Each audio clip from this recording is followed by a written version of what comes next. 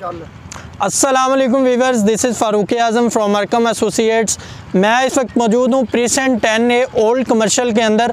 मेरी back side पे आपको प्रीसेंट टेन ए की मस्जिद नज़र आ रही होगी। उसके साथ प्रीसेंट टेन ए की गैलरी है और ये टेन ए का कमर्शल एरिया है।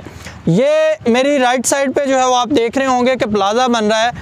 ये precinct ten A old commercial है। यहाँ की कटिंग की अगर बात करें तो यहाँ पे 133 स्क्वायर यार्ड 200 स्क्वायर यार्ड और 266 स्क्वायर यार्ड के प्लॉट्स जो हैं मौजूद हैं।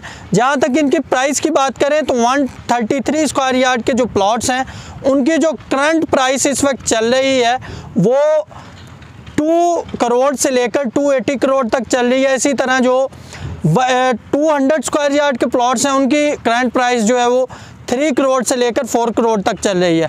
और इसी तरह अगर 266 स्क्वायर यार्ड की बात करें तो उनकी जो करंट वैल्यू है इस वक्त या करंट प्राइस की बात करें तो वो चल रही है 455 करोड़ से लेकर 6 और 650 करोड़ तक जो है वो उनकी करंट प्राइस चल रही है। ओवरऑल यहाँ पे इन्वेस्टमेंट का फ़ायदा ये है कि हर तरफ़ जो है वो रेजिडेंशल लोग जो है वो ए, उनके रेजिडेंट्स हैं यहाँ पे जो है वो ऑलरेडी 95 परसेंट जो विलास हैं उनमें लोग रह रहे हैं। ओवरऑल ये डेवलप्ड प्रेजेंट है।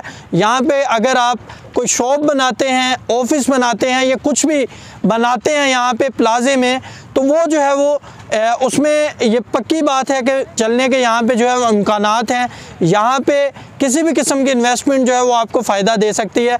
अगर टेन ए ओल्ड कमर्शियल के अंदर इन्वेस्ट करना चाहते हैं या यहाँ से रिलेटेड किसी भी किस्म की इन्फॉर्मेशन लेना चाहते हैं तो मेरे साथ रबता करें। आपकी इन्वेस्टमेंट महफूज हो सकती है, लेकिन उसके लिए ज़रूरी है कि इन्वेस्टमेंट करने से पहले आप रबता करें ताकि आपको पूरी डिटेल जो है वो दी जा सके और आपको ये समझाया जा सके कि यहाँ पे आपकी इन्वेस्टमेंट जो है महफूज है। जजाकल्ला